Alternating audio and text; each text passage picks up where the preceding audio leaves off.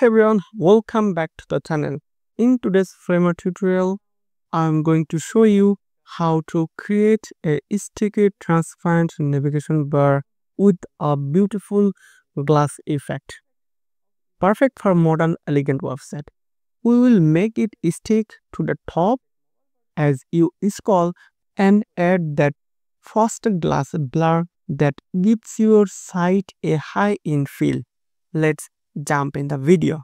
As you can see here, don't have any navbar. So I would like to use a free-made navbar that created on Framer. Just drag and drop.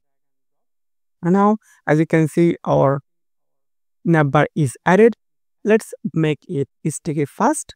So I already create a detailed video for creating a sticky navbar. So please check it link description below. Now select our navigation and click on relative and click on fixed. Now as you can see our header is fixed but here have some issue like our hero area don't have any space right so check it our navigation height as you can see navigation height have 64 pixel.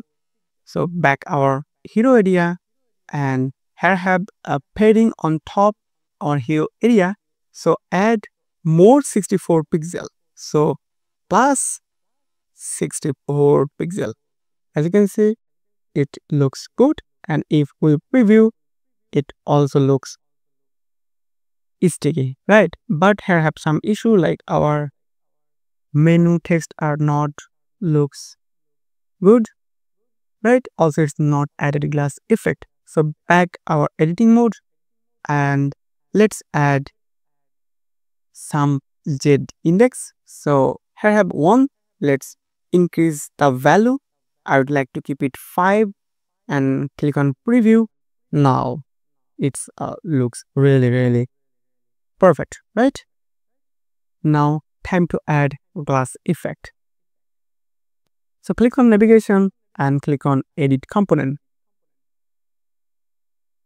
Here have a background color, but we don't need any background color because we want to make it transparent. When someone is scroll down, we will see a glass effect, right? So click on desktop and scroll down, you will see a fill color. So we don't need any color, just remove it.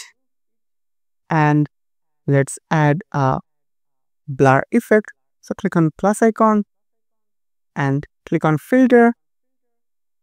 Click on busy blur.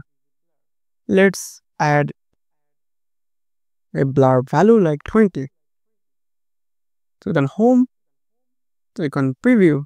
Scroll down as we can see our header have a really cool a glass effect. Also, if you want to increase the value of effect, you can do it easily. So click on edit component again and increase the blur value like 30, 40 or 50 or also if you want to decrease it, you can do it easily. Okay, so it's really cool. Also, if you want to make it for same mobile, so click on phone and already have the blur effect on mobile version. So click on preview.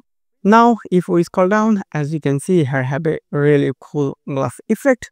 Also if we take our tablet version it's also really cool. Also if i take mobile version it's really really cool. And that's it. Thanks for watching if you found this tutorial helpful, don't forget to like, subscribe and hit the bell icon so you'll never miss a tip.